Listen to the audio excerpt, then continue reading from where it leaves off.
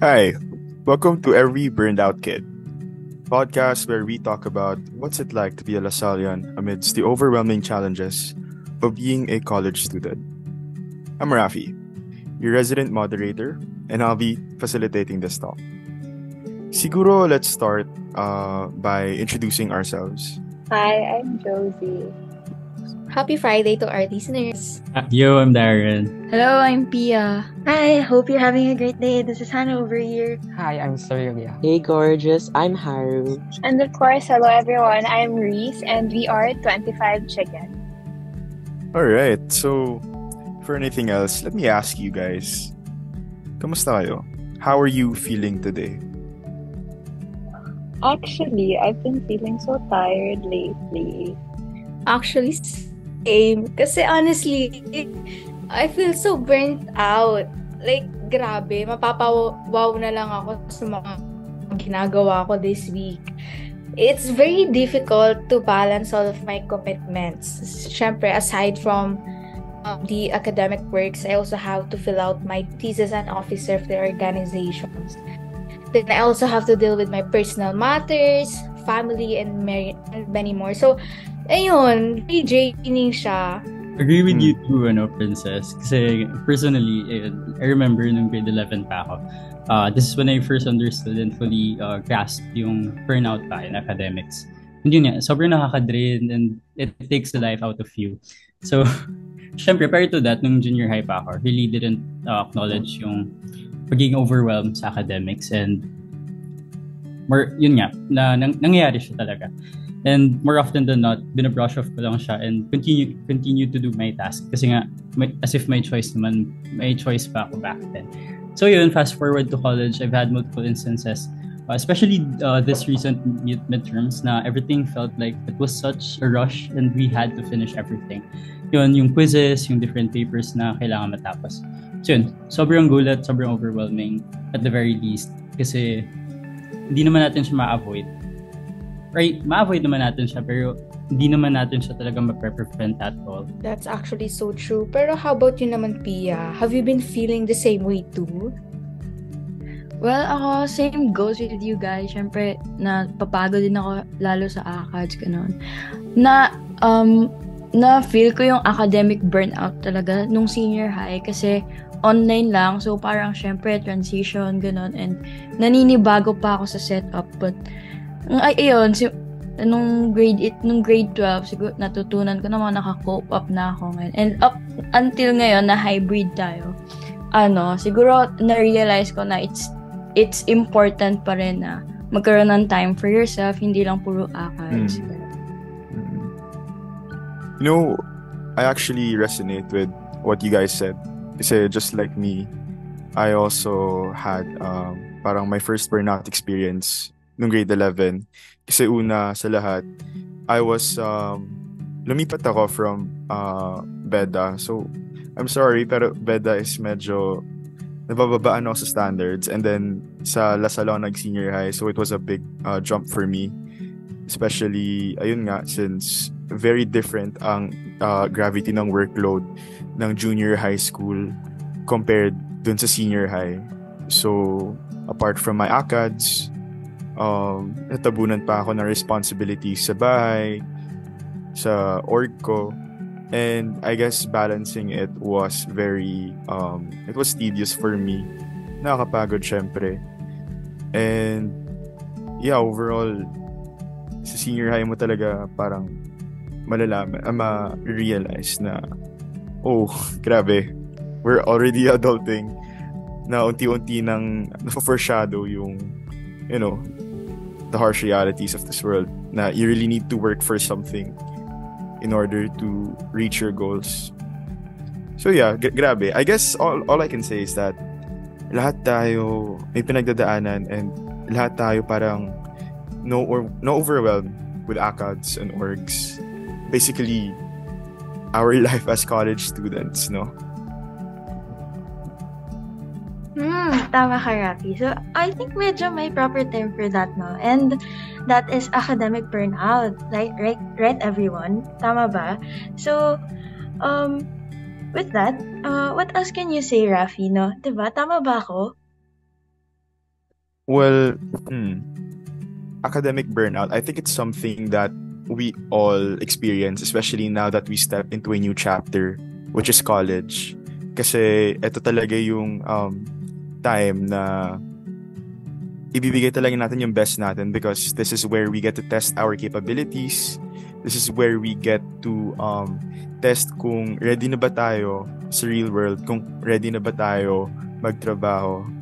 But yeah, I think um, academic burnout is something that most of us just brush off, but it needs to be addressed. Kasi somehow it takes a toll on our mental health. And in the long run, hindi siya magiging beneficial for us. Pero uh, apart from that, I just want to ask, how would you guys define academic burnout? Or would you agree to what I said? Or yeah, I just want to hear your thoughts about it. I actually agree. So I'll pick up where you, you left off. So I think I can go first. For me, academic burnout is honestly kapag nahihirapan ka na to cope up with your academic responsibilities, when you feel so tired, or nawawalan ka na ng motivation, no? And as if ayaw mo na lang gumalaw at all. Because honestly, that's how I feel like mas pipiliin kong humilata na lang sa Mm-mm. like sa bed ko or sa sahig just to parang not do anything or basta ayoko na lang nang gumawa ako ng kahit ano kasi sobrang pagod na ako and nawawalan na ako ng dedication and motivation to do anything. So for me that's that's really um academic burnout. How about you?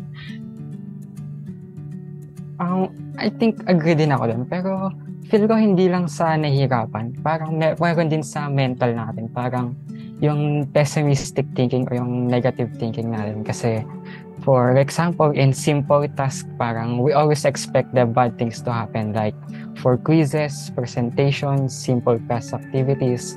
At pag nag-pile up yun, parang ma-overwhelm tayo ng anxiety natin. Mm. Oh Yeah, my God. Information, na information block ata ako sa dami ng shinare niyo. But, I'm really curious, what causes academic burnout ba? That's a very good question, no? Pero, ayun nga, siguro for me, what causes academic burnout is accepting a lot of workload na alam mong hindi mo kaya. Or sometimes, itong workload na to is beyond our control. Na, ah, sometimes, um, we don't get to choose our workload. And so, ayun, there are tendencies na we tend to have these types of burnouts, especially when we try to um, push above and beyond. But yeah, does does anyone else want to share their thoughts about it or what so? I think I agree with you, Rafi. Um, siguro nangyayari din siya, no? Because um, we become too focused on our responsibilities and parang we don't give ourselves time anymore. So, like, we prioritize so much and you know, our student responsibilities, our officer responsibilities when it comes to the orgs that we forget Yeah. to give ourselves, you know, time to eat or even rest up or, you know, just take care of ourselves generally. Ayun. Also, and siguro na rin because of the pressure that's on our plate. Like, we wouldn't want to disappoint anyone, so we tend to set unrealistic goals for ourselves. True. Kasi, and from there siguro, we have to also push ourselves. To, we push ourselves too much to the point na Mm-mm. where it becomes too much for us physically, mentally, and minsan na rin emotionally.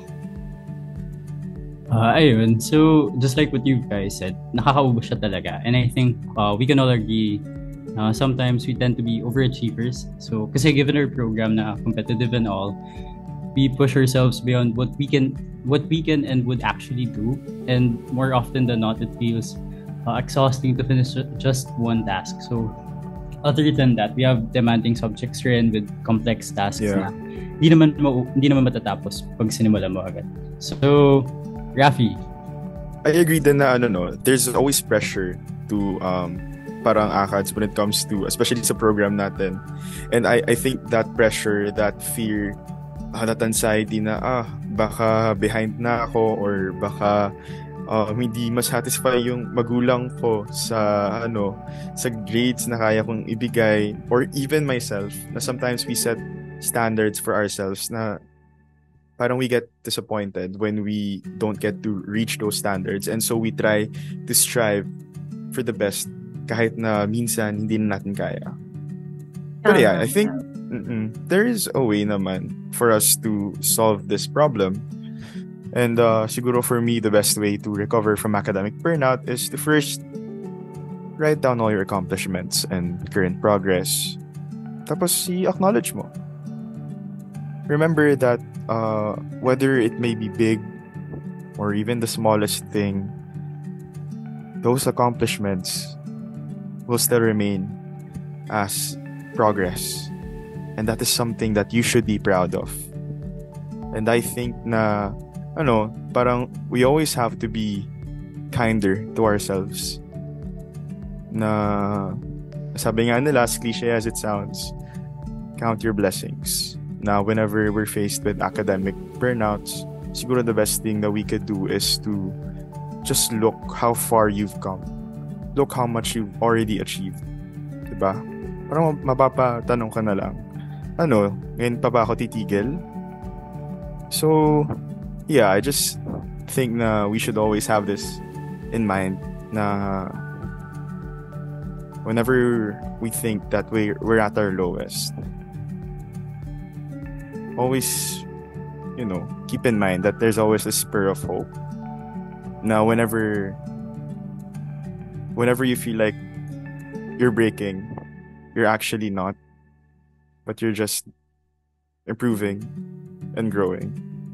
But yeah, kayo ba guys? How how how do you think uh will you be able to get up from burnouts or what? So Um, ano, ako personally, parang I make sure na may time ako to spend with my friends and my family. Para naman hindi, yung oras ko hindi lang nasa ACADS, hindi lang nasa puro works, ganun. Kasi pagka ganun talaga, mabilis kang mapapagod. So, kapag ka, 'di ba kapag ka nag-spend ka ng time with your friends, your family, your loved ones, ganun, may break ka from your responsibilities. So, parang may breather ka, hindi mo, hindi mo, hindi ka na pressure to do something, ganun. Parang mag-restart ka sa hectic schedules mo. So, syempre, syempre, let's make sure na tapos na rin yung responsibilities natin bago tayo gumawa, ay, mag, mag-have fun or mag spend ng leisure time, ganun. Mm-mm. So, I know, guess I guess one thing that I've learned from this is that we shouldn't feel guilty for wanting to take a break from time to time. Kasi syempre, kailangan natin to. As much as we want to achieve all those things that we want for ourselves, for our families, even for society, we need to acknowledge that we have our limits. And we also need to rest. No? I agree. It's a bit sad, but we really do tend to take on more projects than we're capable of. And whether this is because we want to prove something to ourselves or because we have no choice, it's normal to feel tired from time to time. Mm-mm. I agree. I think that while it's not ideal to feel so tired all the time, as you have to prioritize ourselves, um, that feeling shouldn't be something to be ashamed of. And alam nyo guys, one thing I realize is, is that sometimes you have to make sacrifices. Kahit di na natin gusto, because at the end of the day, if sobra na yung ginagawa natin, tendency lang is nahihirapan tayo and nakakasakal siya. But as much as possible, dapat we do things in a more fruitful and fun way. That's why for me, it's very important to have a solid group of friends. Mm-hmm. I agree. Uh, yun nga, kasi so, given nga yung workload natin ngayon, so buti nga ano, uh, at this time and age, yung parang pagiging pag, pag na-overwork tayo, tapos yung uh, kailangan natin magpahinga, parang usually na, na-value yung dapat i-prioritize natin yung well-being natin. May it be uh, physically or mentally. Kasi parang naging norm na siya na being tired and uh, breathing from the uh, from our academic struggles na ina-enter natin is something that we should do. Kasi kung hindi, uh, I think it would also consume us. Kasi yung capacity yung capacity lang natin na we could only take so much ba. Kaya. Mm-mm. So, yun nga, given these, uh, what you guys said, uh, maybe we could relate or, I mean, tila salient per value of reserve. So, should we tell our listeners what it means to practice, uh, yun, yung value of reserve muna? Um, okay, so um, for our listeners who aren't familiar with the value of reserve, it's about being able to remain calm during times of stress, tension, and crisis. So um, aside from that, it it's also someone who shows the value of reserve, who is cool, calm, and collected. So basically, super chill sila, and they're usually very good people to rely on, as they can go around you in times of stress. Ganon. Mm-mm. Pero why is it important to practice the value of reserve? Well, for my side, this value is of great importance as it enables us students to maintain our serenity during hard times that are for sure inevitable at times. And if I may add, it. Sorry, I'll cut that out.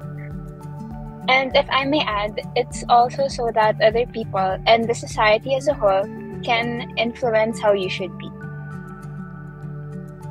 So, sure, the value of zeal is important. As students, we always try to go beyond the box and to reach new heights of excellence. And we do all this to constantly better ourselves academically and personally. However, it is important to put yourself and your well being first before everything else.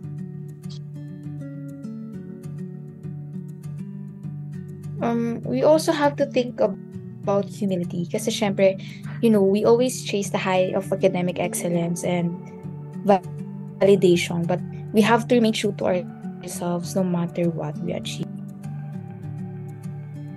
Siguro, apart from ano no, apart from um, reserve, siguro one virtue that we can learn from these academic burnouts is the Lasallian virtue of patience.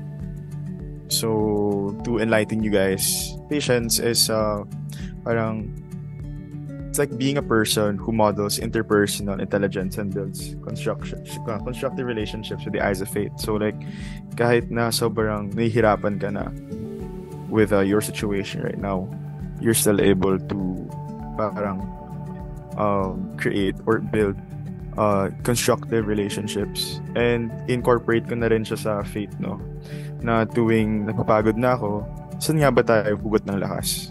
So I guess, at our most vulnerable times when we feel like everything is pressed against us, we can communicate with God. We can ask for His guidance. Whenever we feel lost, whenever we feel like nothing's going on our way, whenever we feel like sobrang ang gulo na ng lahat and everything's overwhelming. I guess, uh, yeah, we can practice the value of faith through reconnecting with God at our hardest times. And yeah, I think it uh, this was a very insightful conversation as many good points were shared. Siguro let's keep what we have learned in mind and uh, moving forward. So we may still perform at a rate that will allow us to achieve our goals without sacrificing our state of mind. So, kayo ba guys, any last remarks before we sign off? Remember to ask for help when you need it. Don't be afraid to ask for guidance from your friends, family, and teachers. Yeah, ta- tama. Kasi they all want the best for you and they are always willing to help you achieve your So you can come to them for academic advice, syempre ask questions rin that you may you might have or just for comfort.